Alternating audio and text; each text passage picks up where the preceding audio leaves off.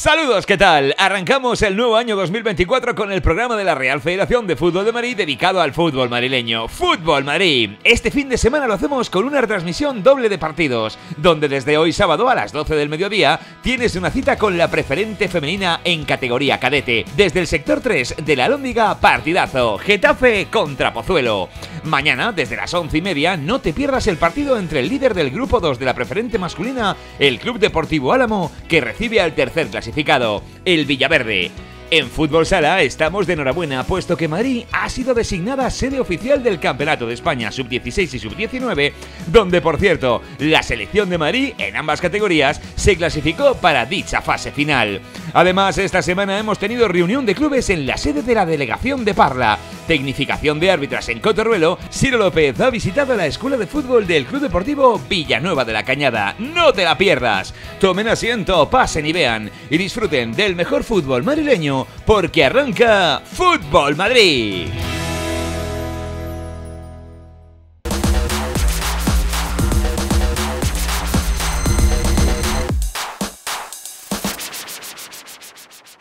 Con sendos campeonatos de grupo cerró Madrid su participación en la fase previa de los nacionales de selecciones autonómicas sub-16 y sub-19 masculinas de fútbol sala que se disputó en la Mariña Lucense.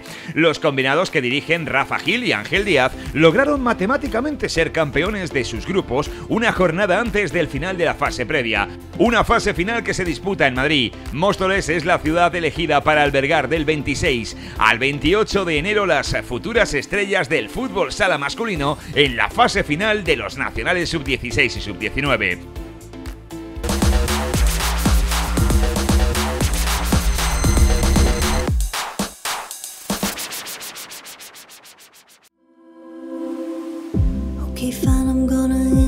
Y esta semana las árbitras del Comité de Árbitros de la Real Federación de Fútbol de Madrid han tenido sesión de tecnificación. Fue el pasado jueves en las instalaciones del campo número 2 de Ernesto Cotorruelo, campo federativo de la Federación de Fútbol de Madrid, donde se llevó a cabo una sesión muy enriquecedora para todas las colegiadas del fútbol madrileño.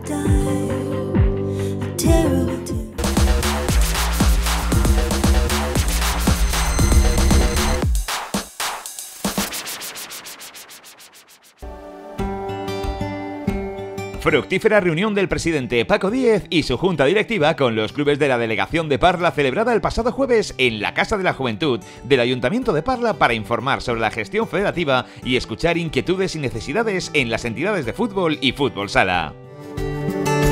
Eh, veo que eh, explicándoles todo, en, eh, escuchando sus peticiones, ellos ven el trabajo que estamos haciendo.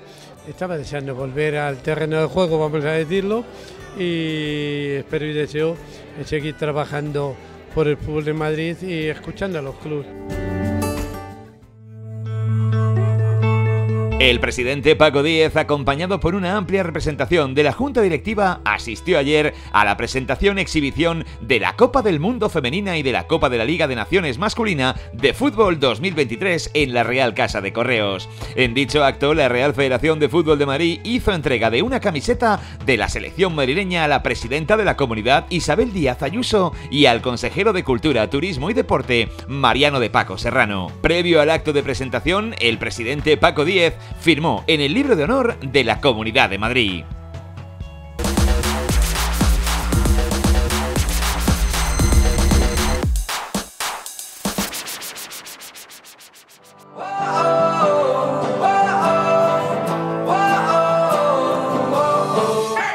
Nos hemos venido al noroeste de la Comunidad de Madrid pues para conocer un nuevo club en la comunidad en este caso, un club que va a cumplir los 42 años, exactamente tiene 41 y algunos meses, y que responde al nombre de Club Deportivo Villanueva de la Cañada. Vengan conmigo y lo conocemos un poquito mejor.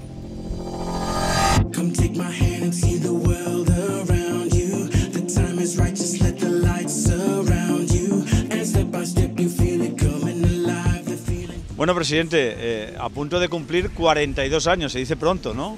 Eso es, sí, sí, ya pues eh, más de 40 años de historia. Este club se creó a principios de los años 80. He estado aquí como jugador toda la vida. Eh, yo o sea, crecí aquí en este municipio y nada, aquí estamos. Eh, yo ya pues tres años en la directiva y dos mesecitos, bueno no, tres mesecitos ya como, como presidente. Cuando empezaste me imagino que, que como Benjamín ahí con seis o siete añitos ahora, eh, algo sí ha cambiado del club, ¿no? Sin duda, muchísimas cosas. Lo primero que ha cambiado es que esto, las instalaciones, que esto era un campo eh, de tierra y ahora, pues bueno, un campo, una instalación magnífica, gracias al ayuntamiento. De hecho, tenemos varias sedes, colaboramos con la UAX, con el Colbe, eh, y ahora tendremos un campito ahora de fútbol sala pero con césped artificial justo detrás. Eh, cambiamos el escudo pues justo hace tres años, cuando un año después de que, de que me incorpora a la Junta y es verdad que tenía la corona real y aquí esto es pues espigas de trigo porque esto antes era todo, todo campos de trigo. Son las estrellas de la Comunidad de Madrid, un balón de fútbol y la despernada que tenemos una, la estatua de despernada en el, en el centro cultural del municipio. ¿Qué objetivos habéis marcado con el primer equipo? Pues, pues mira, el primer equipo, eh, el objetivo es el ascenso este año. Eh, la idea es que en cuatro temporadas estemos en tercera ref. Entonces, bueno, eh, objetivos ambiciosos, pero preferimos ser ambiciosos en este club siempre.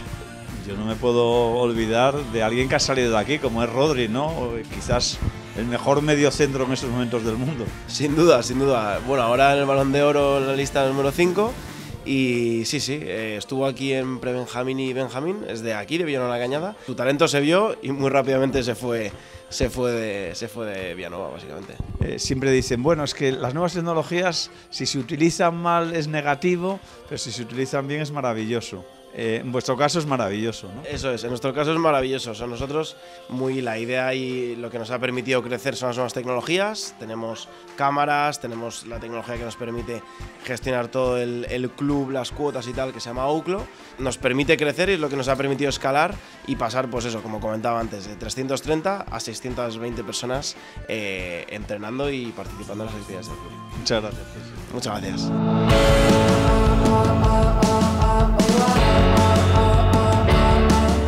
Kiki, hemos hablado con el presidente un poco de la historia del club, pero ¿cuántos niños estamos hablando? Estamos actualmente en 622 niños. 622 que se traducen... 36 equipos, ¿vale? En los que 30 están federados y luego tenemos cuatro sedes en las que está el campo, tenemos el pabellón que están los más, los más chiquititos para que no pasen frío, como hoy. Y luego tenemos la, UAS, la universidad, y el Colegio Colbe, que también compartimos con el colegio, parte de nuestros equipos están allí. Háblame un poquito de la metodología de, trabajo. Entiendo que, que la, el primer punto de la metodología es que los chavales se diviertan, ¿no? Y después a partir de ahí se va construyendo. La metodología, pues una de las bases importantes es que aparte que los niños se diviertan, es que enseñarles a jugar al fútbol, no a jugarlo, sino a enseñarlo, a que lo entiendan. Ese es el objetivo principal de la metodología en la que todos eh, los equipos pues, van direccionados con, con unas señas de identidad que queremos implantar en el club y este es nuestro segundo año y estamos ahí creciendo bastante con categorías buenas, que es lo que queremos. ¿Cuál es tu pensamiento? ¿Cuál es tu idea en esa metodología? Bueno, pues cuando yo vine aquí con una idea de, como tú bien dices, que todos jugáramos igual o que sobre todo el primer equipo y el senior B y el juvenil A jugasen como el primer equipo, pero te das cuenta que al final pues te tienes que direccionar un poco a la calidad de los jugadores que tengas, que puedas tener, el tipo de talento que puedan tener los jugadores. Y tampoco queremos eh, decir exclusivamente vamos a jugar un sistema porque no, o sea, no, no estamos capacitados para llevar ese sistema de juego a todos los equipos. Gracias, Quique. Nada, por favor.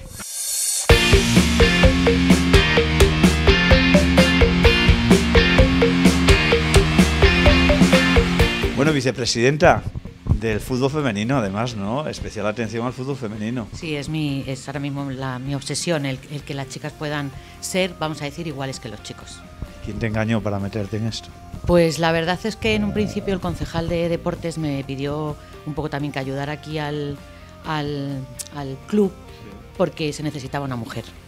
Mm, el boom del fútbol femenino también se ha dejado notar ¿no? en, el club, esos títulos que han llegado. Me imagino que eso ha sido como, como una, una captación eh, especial para que lleguen más niñas al mundo del fútbol. Hombre, mm, es como que ahora ya eh, se puede y como que van a llegar y hacer algo. Antes era como que no las chicas no podían hacer o no iban nunca a llegar nada o no se iba a ver todo su trabajo. Y quizá también, lo voy a decir, los hombres, también los hombres al ver que el fútbol femenino llega lejos, pues a lo mejor sí dejan que sus hijas jueguen al fútbol. Porque, porque digamos que es muy reciente, ¿no? La presencia, por ejemplo, en vuestro club del fútbol femenino viene de dos años eh, para acá. Sí, no había niñas o las pocas que había, algunas se tenían que ir a pueblos colindantes, pero muy pocas. Y al ir animándose unas con otras, y como bien has dicho, el tema del fútbol, que está en auge el, el fútbol femenino, eh, han hecho que vengan más niñas. De hecho, el objetivo es que mm, de cara a próximo eh, haya más categorías, o sea, que haya un equipo femenino en cada categoría, que ahora mismo solo somos tres. Muchas gracias. Nada.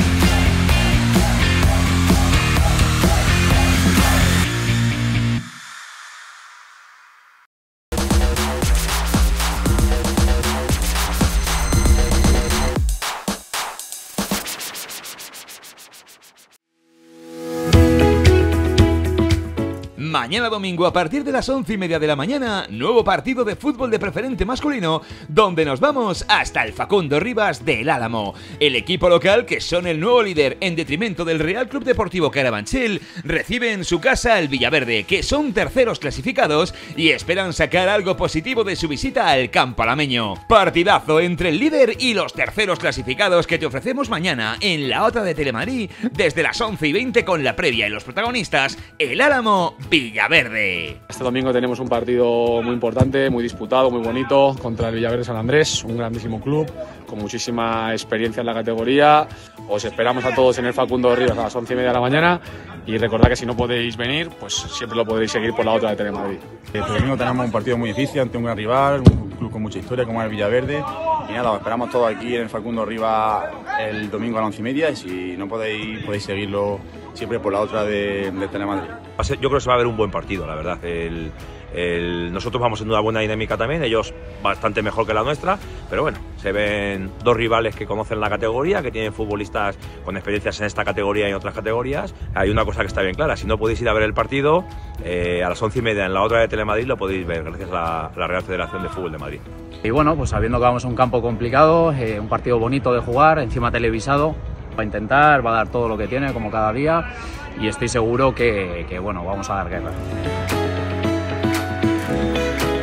Y hoy, desde las 12 del mediodía, no te pierdas el partido de la preferente femenina cadete entre el Getafe femenino y el Pozuelo, y desde el campo de la Lóndica, sector 3. Un partido muy igualado entre dos equipos que ocupan la parte medio alta de la clasificación. El Getafe son sextas con 23 puntos a 10 de las líderes, mientras que el Pozuelo ocupan un puesto más abajo, séptimas. Hoy, desde las 12 del mediodía, fútbol femenino, categoría cadete, aquí, en la otra de Telemadrid, dando visibilidad al fútbol formativo de nuestra comunidad de Madrid. ¡No te lo pierdas!